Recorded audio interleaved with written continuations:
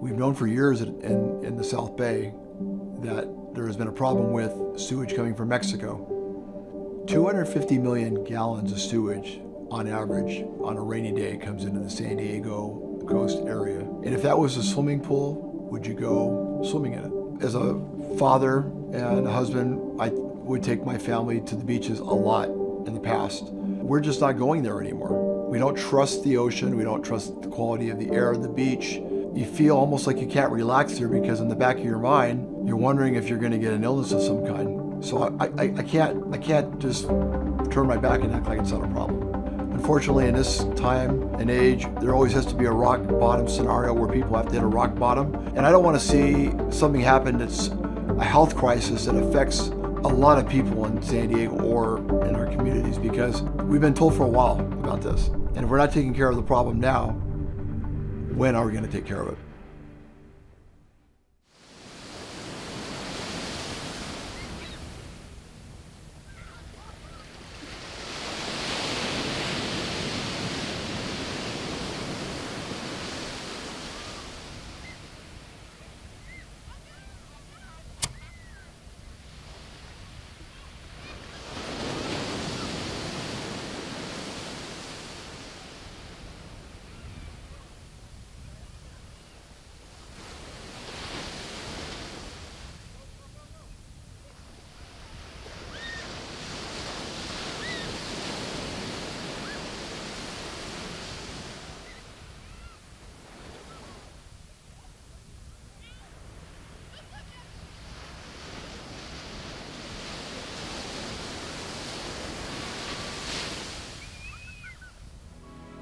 It all starts here, the Tijuana River.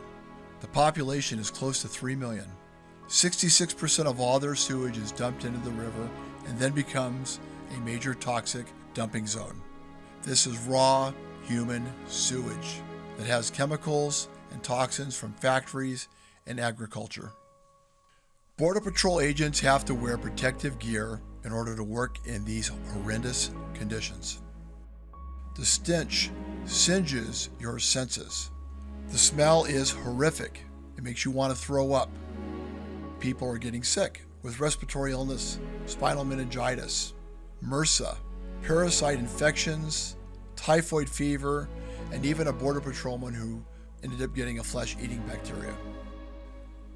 All of this leading out and being released to pollute our Pacific Ocean.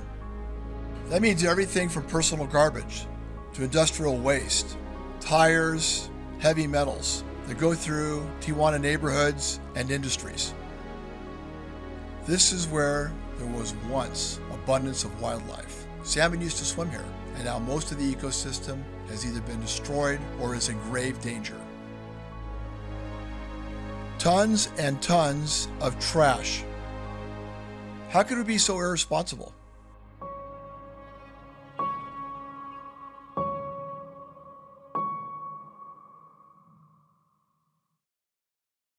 You're looking at the final dumping point of the massive river of sewage that is destroying our number one natural resource, the Pacific Ocean, and its wildlife. This isn't your typical chocolate latte with whipped cream.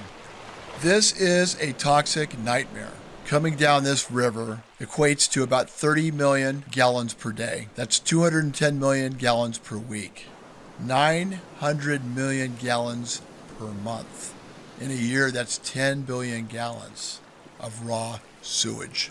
Can you believe it? 10 billion gallons per year of raw sewage is going into the Pacific Ocean. Are you hearing these numbers? This is a state of emergency, if there ever was one. And it's been going on for decades. It's been going on since 1935. That's 88 years. This is the big dump coming to a beach near you.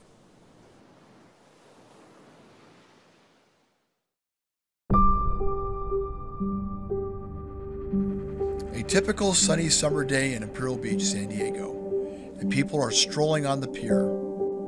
But I'm thinking to myself, knowing there is a massive sewage crisis, who's in charge? Why the ignorance? Who's looking out for their families, the children, the pets? What about all the tourists from around the world? And why are these people fishing? Are they going to eat the fish? Look at these people strolling on the shore. I can't believe I'm seeing this. Why are the kids playing in the sand? Why are they in the water? Why are kids surfing in sewage? The visitors are not aware of the sewage crisis.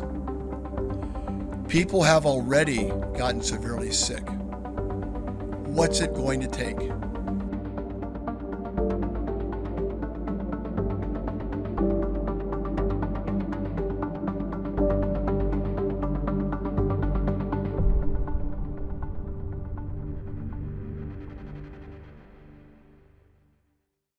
solved our problem. And it's There's this local advocate named Leon. This guy is like super passionate and has all the answers. Well, my name's Leon. I'm trying to show people how we can solve the cross borders pollution problem here at Imperial Beach. Because right now, we're getting between 30 and 40 million gallons a day of untreated sewage put off our coast. And uh, people just don't realize that we've had 500 days of continuous beach closures. So we're educating the public on, on what we can do. Yeah, when we take people down to the border and we show them, it's like a light goes on. And, uh, you know, I, we offer tours, and if you want to go look at it, we can go right now. I, I'm in. So I took him up on his offer, and my partner, Larry Delrose, and I head to the border. We finally make our way out to the collectors, and Leon was extremely knowledgeable about the infrastructure and how everything works. You basically have two types of flow. You have a dry weather flow like we have now, which is primarily all sewage and toxins, and it comes in and it's taken, taken to the treatment plant. On big rain events though, which are about you know, 14 days out of the year, this place is rocking. The water's moving about 60 miles an hour, and as you can see, nothing is left behind. All the sand, sediment, and gravel are moving down and they reach the ocean at 60 miles an hour. They get there in about six minutes. Now, however, they're ponding the sewage and not allowing this uh, water to race to the ocean where it would be cleaned by the natural processes of the ocean. Leon was very helpful and he showed us the many facets of the sewer infrastructure. We learned that this is no small problem and there is no simple solution. Being so close to it and witnessing it all truly disgusts me. It shows me how irresponsible governments have been. It was unbelievable the sight and the smell. One of the worst experiences I think I've ever had. It reminded me of the LA tar pits, except there was no tar. It was just bubbling gases and belching toxic fumes. God help us. This is a lot of crap. We got to get out of here. So I had an opportunity to meet with former mayor of Imperial Beach, Serge Dedina, and current city councilman of Coronado, John Duncan, to discuss some of the challenging issues going on with the Tijuana River Valley. Things are brewing, but we have to keep pushing until it's actually the projects are in place and the beaches are open all the time there is momentum now. It was like pushing this giant boulder up the hill. If people stop pushing it, it's not going to happen. So I do think we're at a point now where things are starting to move. We actually are moving forward. We just have to keep going. I mean, it has to be a sustained push to get it done. One of the things, biggest things that we've lost is the cultural and social life of our communities. The July 4th rough water swim in Coronado, one of the oldest and most important uh, open ocean swims in all of the United States um, a surf contest that Wild Coast and I put on for 16 years. We can no longer have because the ocean's polluted. We brought the Ironman 70.3 uh, Super Frog to Imperial Beach. They're not running it anymore because the ocean's polluted. Um, but also all the ocean recreation programs for kids. Our junior lifeguard program in Imperial Beach got canceled this summer. Uh, Camp Surf, a YMCA Camp Surf, can't run its programs for thousands of kids from all over Southern California because of the pollution. But the beach is where our communities come together, and when that's disrupted, it means we lose so much. So many people that use our beaches are from the disadvantaged communities in San Diego. And people talk about helping them, but they don't connect it to keeping our beaches open. This is a place where they can come to get into cool air. They can leave 100 degree temperatures in the inland during the summer. They can come here, let out that energy, and be safe and enjoy the cool air. And we need that to happen. We need these beaches open. Our most respected warriors are our Navy SEALs. When they come here to train in BUD/S to become a Navy SEAL, it's in these waters. It's in this polluted ocean. It's in our bay, which gets polluted, and we need to protect them. It needs to be talked about honestly. We just need to tell the truth, and we need to take care of these sailors that protect us and do the most difficult missions for our country. We need more action by the United States government and, and California leaders as well, including our governor. So part of the effect on my life, uh, most recently in 2017, my wife, who's a former Marine, uh, contracted spinal meningitis from this dirty sewage effluent here uh, in Imperial Beach. We were walking along the beach picking up uh, sea glass. She unknowingly had a blister on the bottom of one foot and the bacteria got in. A couple days later she was having severe, very severe headaches in the back of her head and her neck. We went to Coronado Hospital. Uh, they sent her straight over uh, for emergency diagnosis. They did a spinal tap. Uh, and she was in the hospital for the next 12 days, uh, suffering the effects of spinal meningitis. Um, directly, as a direct effect from this water exposure, um, we had a CDC representative from Los Angeles come down and do an investigation, talk to her. Uh, it was the only uh, vector that we could find and determine that could have transported uh, a meningitis bacteria into her body. Obviously can't recommend anybody get in the water, um, I wouldn't even uh, recommend you sit in the, in the wet sand. We made a quick phone call into the Imperial Beach Mayor's office. Mayor Paloma Aguirre was available. So she set aside some time for us for a quick interview. As an elected official, I've been working on this issue uh, since then. And I've sat in these conversations where I've had people say, well, you know, we, are making progress, we're almost there you know, we just need this, we just need that. You know, that's why I'm calling for a state of emergency because we're done waiting. We're done. The patience is run out. My community is suffering. My community is in pain. We're getting kids getting sick, not just from entering the water, but, but breathing the pollution. Um, the, the, the situation is at a crisis level. So when I went to DC in April and I was told about the deferred maintenance and these rehabilitation costs, all, in, all I heard in my mind is 2028, 2030, 2034, that's time that we don't have anymore. And just as easily as Santa Barbara had a state of emergency declared because of their oil spill, or some of the cities like Santa Cruz had one because of the coastal erosion caused by the last uh, winter storm events, or the toxic spill in Ohio, or the bridge collapse in Philadelphia, that's why we're calling on a state of emergency because this is no different. Just because it's been going on for years doesn't mean that the dire situation, the crisis situation, isn't on par, if not greater, than any of those emergencies. If we should call the boat to take us out in the ocean. Yeah, and look at the brown. It's coming up. It just keeps coming. The next big rain's going to be something, huh? Oh my God, yeah. IB uh, was really an eye-opener. I mean, imagine these people close 600 straight days. It's a beautiful town down there. I really noticed. Like I mean, IB? it is, yeah, they got a playground there. They got shade for the people. They sell stuff at the beach. They got the unbelievable pier. Such a sad, sad thing to happen in that town. that way. Yeah. Well, once we get all this, these interviews done, and we get all this into our heads, I'm going to give you my conclusion. You're going to give us your conclusion. And uh, hopefully it'll be so new, fresh, and different than anything else that we can really make a difference. I think you have too many politicians involved and you can't even get a, a, starting date or a completion date. And I think you need somebody with some business savvy to come in and also knows how to work politically across the, uh, the, the, borders because this is an international crisis. Yeah. We've gotten more than we anticipated out of what we found, but what's your take? I don't know, I'm, I'm, I'm just as frustrated and confused. I mean, my mind's going crazy, but you know, I live right there. Right there, I'm 75 feet from the water every day. I get up and I open my window and it just breaks my heart to see the brown bit by bit destroying the Pacific Ocean. The other thing is that's really getting my heart now is in the beginning, before we did this, I was mad at of the people of Tijuana. I was mad at them. I'm not mad at them anymore.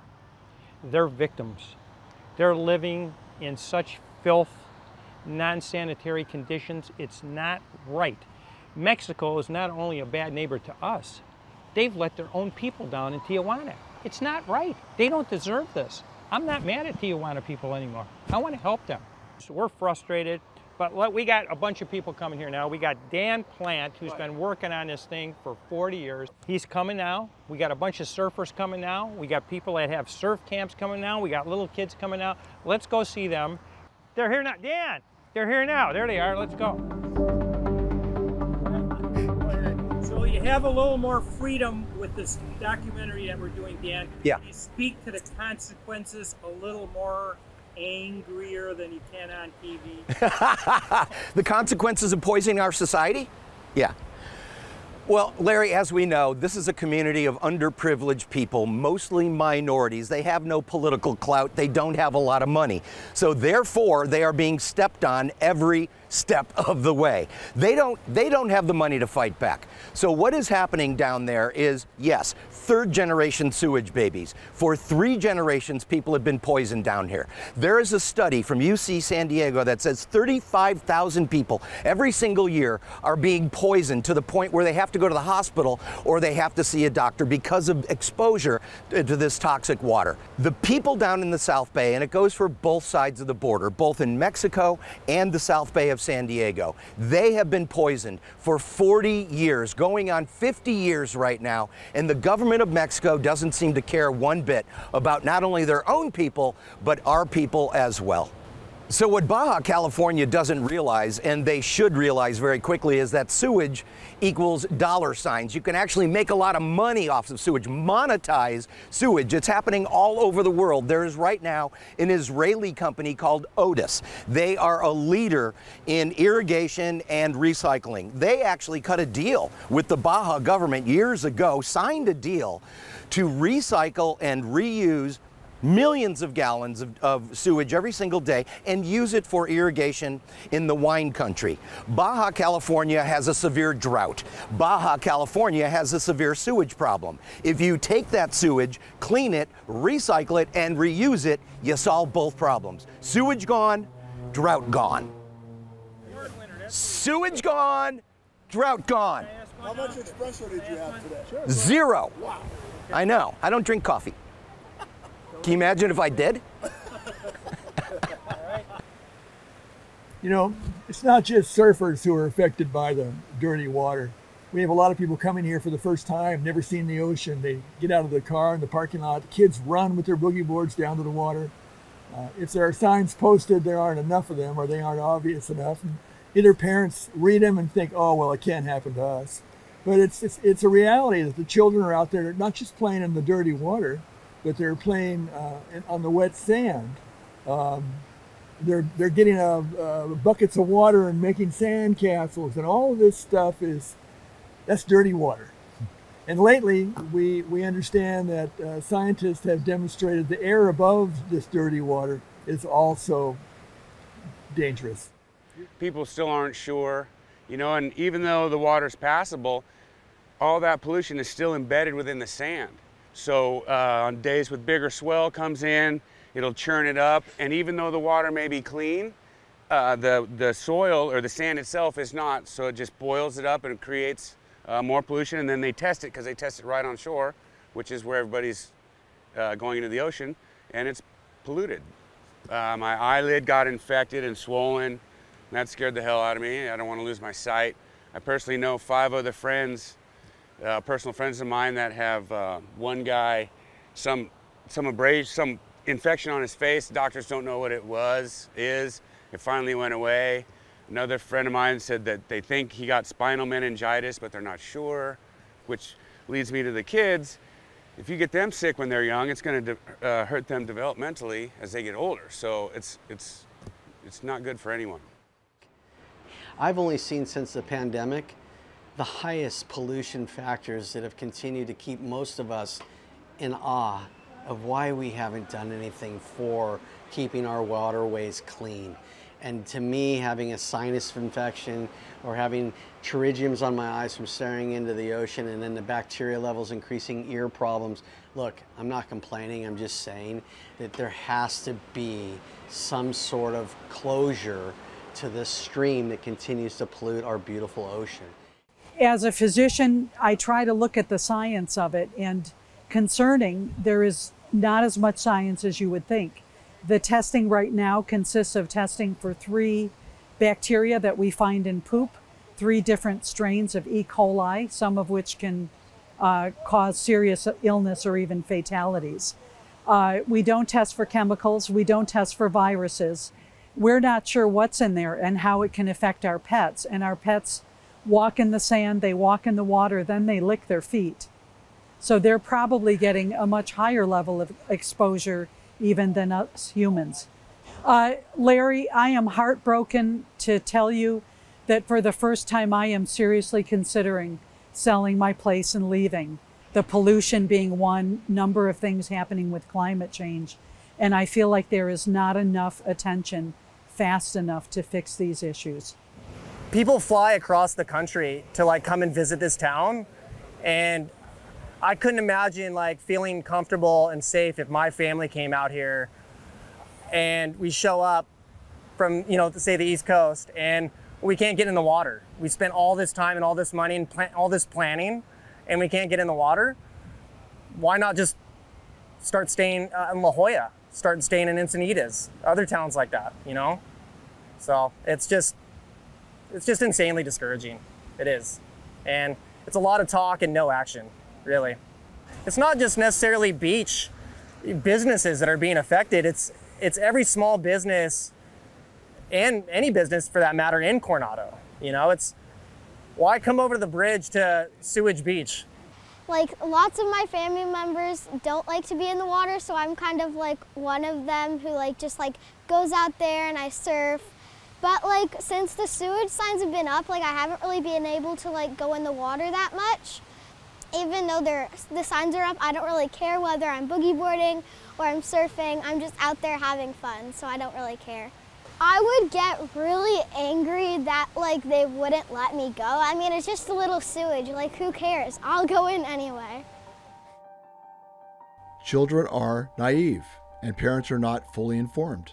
The truth is, we have no one policing the ocean. The stakes are high. People's health are at risk it just isn't a life that anyone should be living. It's it's really sad, I think, because this main street that we were on with the water flowing down it, it was houses on both sides and dogs running around on both sides and cars driving up and down and it was literally like a river of sewage water and I think it's really inhumane, the water that's flowing down the streets of Tijuana for the neighbors that live there, for the animals that live there, and then for to go into the ocean and come back to Imperial, Beach, Imperial Beach and Coronado. I know so many people have gotten sick from just surfing there. Animals have gotten sick, children have gotten sick. Even first graders in IB know what's going on, and they're writing letters to the president to stop this, and so it's just horrible. There are sections of Tijuana that they have no sewage lines, they have no sewer pipes. We found a situation where in the city of Tijuana, this is not some jungle, this is not some far flung place, this is right across one of the richest cities in the world. We found a community where 29 homes shared a water line, like a green water hose that you would go water your plants with. They shared that water for their drinking, for their bathing, for everything. And it wasn't just like that was an anomaly. There are a lot of neighborhoods that are like that. We just had a story recently in the Coronado News about activists in Tijuana. Although I don't know if you should call them activists, they're basically young adults and they're furious, they're fed up. And they did a protest on the beach there, trying to raise concern to their elected officials to say this is unacceptable. We should not have to go out and be in this filth we should have clean water, just like anybody else has clean water. Because what we have seen for nearly a century is that the governments of Mexico and the governments of the United States cannot fix this problem. I'm not saying that as an opinion, I'm stating that as a fact. We have found that through our reporting. It has not been fixed by presidents on either side, mayors on either side, Congress, members of Congress of either side. They have failed. That's why our series was called Promises, Promises. Promises have been broken for decades.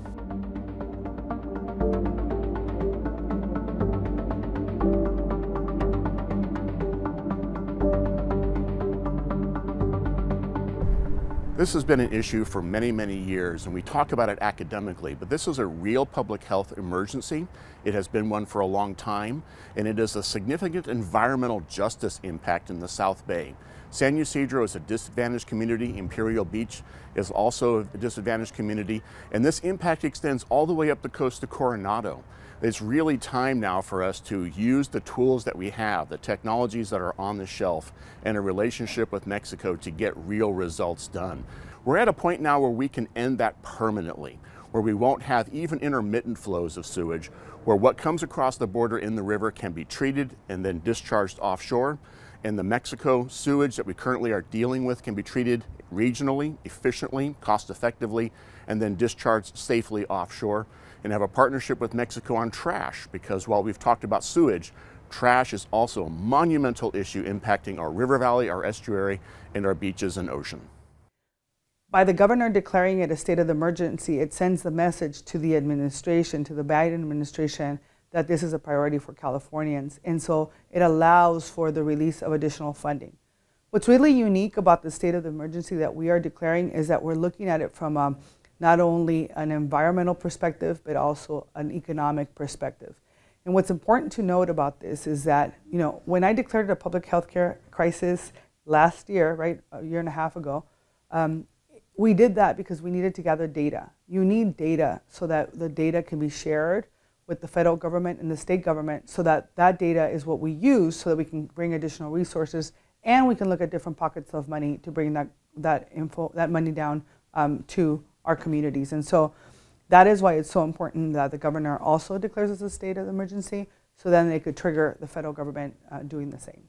Having someone like myself who's a binational person who understands communities, I'm bilingual, I'm bicultural, I was born in Tijuana, I understand government, and so it allows me to really work very closely with the Mexican government, not only at the federal level, but the governor and the mayor of Tijuana. We have continuous conversations and relationship um, building so that we are able to address this issue because we know in the end this is an issue that, that is multi-layered and uh, I am really done with the whole pointing fingers and I'm all about solutions and trying to really figure out how once and for all we can make sure that our kids uh, who want to go to the beaches, right, in Imperial Beach and Coronado, are able to get in those any time of the day, whenever they want to, and the same thing on the Baja California side.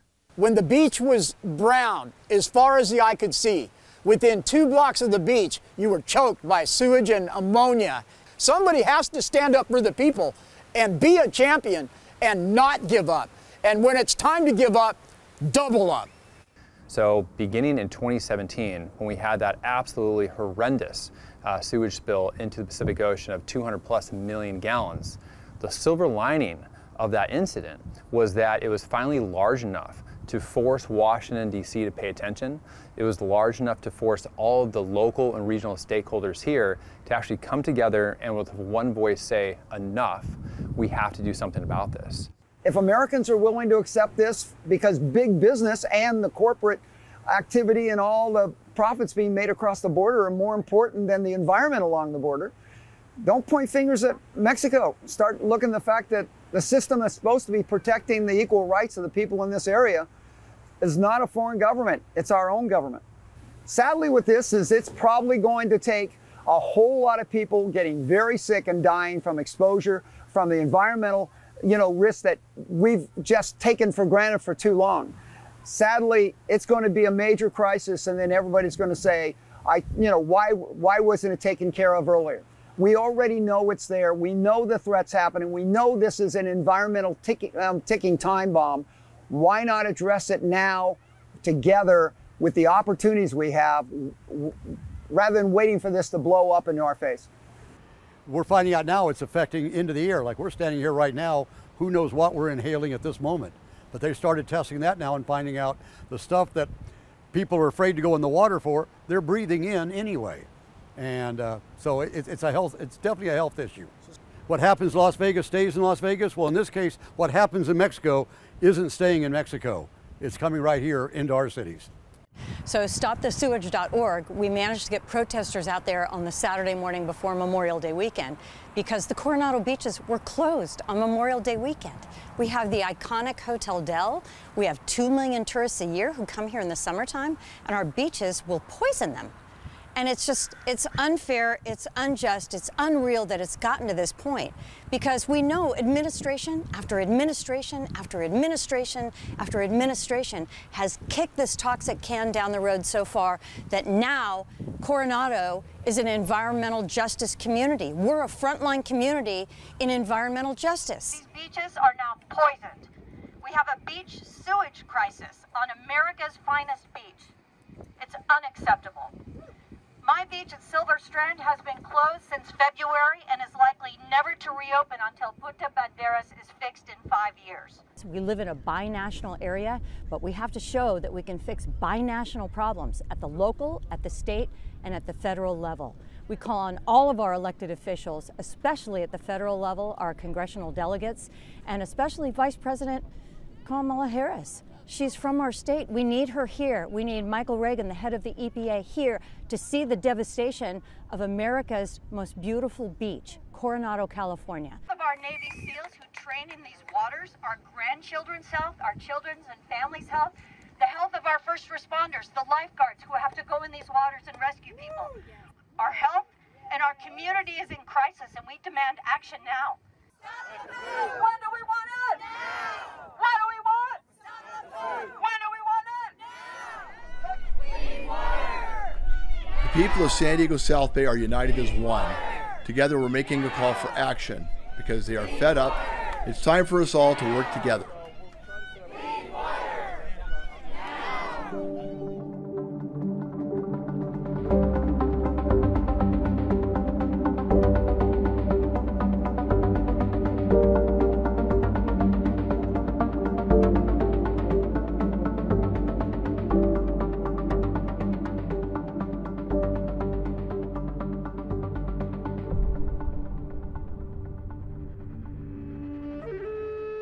Auka y peña mati pecham. Estamos chuiña, macopa y wisconam. Bienvenidos a todos. Mi nombre es Stan Rodriguez. Yo soy pai Kumeyaay de Reserva Santa Isabel. Well, as a Kumeyaay, when we look at this, our people are people of the uh, islands, the Coronado Islands, the ocean, the valleys, the mountains, the desert, parts of the Colorado River, and parts of the Sea of Cortez.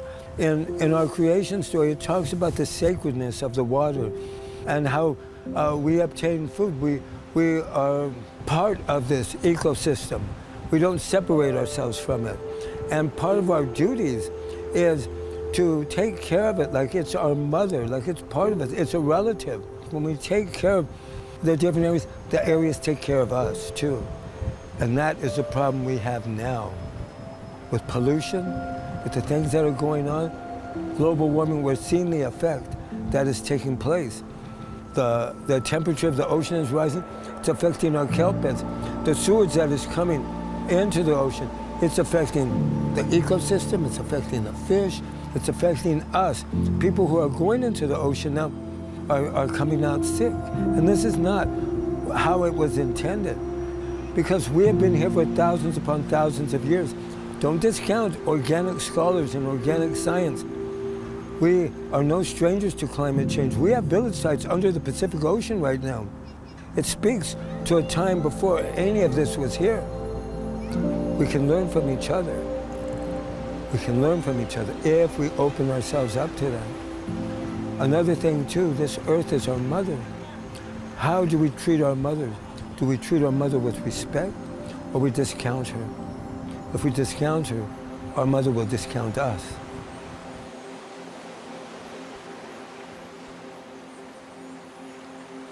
And the situation's getting worse. I and agree. if it gets worse over in Tijuana, it's going to get worse here in the Pacific Ocean. I agree. So this is unbelievable thing that we uncovered in our research, okay? It's called the Rio Declaration, is from the United Nations. 175 countries, including Mexico, signed us in good faith at the Earth Summit in 1992. It's like a blueprint for global environmental issues. The stuff in here, it's like human beings have the right for harmony with nature. Development must consider present and future generations. Countries should all work together. It's all here. But the main thing is that it says that people have the right to get the right access to information on the environment. We're going to do it, Brett. I think we're going to do it. We're encouraging public awareness, just like this says. Hopefully, it's going to lead to some results. But gotta- we got to keep going. And we do. And that's why the podcast is important. So every at least a couple times a month we're going to go over what's going on and what's happening. And we're going to be real about it. We're going to do it, buddy. All right. We really are.